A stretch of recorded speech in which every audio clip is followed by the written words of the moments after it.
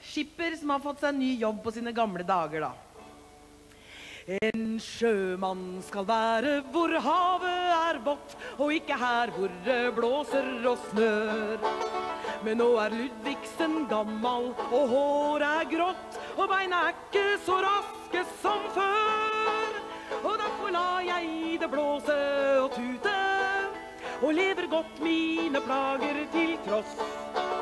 For jeg er skipper og bor i ei skute som frakter leketøy herfra til Moss. Kastloss med fire teddybjørner, tedd i alle hjørner. Åtte sprellemenn, sprell i begge ender. 13 trekk og piler, 18 kaffesiler og et lekeservis.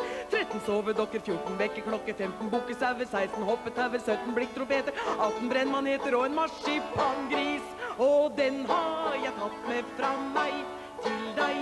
En sjømann kan drømme, han seiler av sted og kommer ut for et fryktelig vær. Så både leker og skuta og han sjunker ned, og ingen aner hvor redningen er. Så kan det komme en hval som er sulten, og spise alt sammen opp i en fei. Og hvis du syns han var fryktelig kulten, så vil jeg svare, det syns ikke jeg. Tjo hei, med fire teddybjørner, tedd i alle hjørner, åtte sprellemenn, sprell i begge ender, 13 trekk og biler, 18 kaffesider og et lekeservis. 13 sovedokker, 14 vekkerklokker, 15 bukkesauer, 16 hoppetauer, 17 blikktrompeter, 18 brennmaneter og en marsipangris. Og den har han tatt med fra seg. En sjømann skal vandre langs palmenes strand, hvor appelsiner og ananas gror.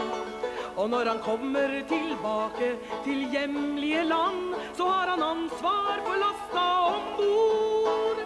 Men jeg skulle like å se dem der ute, som hadde ansvar for mere enn oss.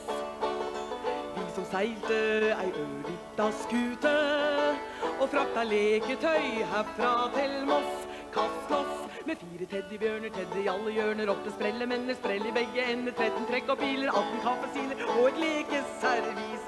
13 sovedokker, 14 vekkerklokker, 15 bukkesauer, 16 hoppetauer, 17 blikktropeter, 18 brennmaneter og en marsipangris. Og den har han tatt med fra seg.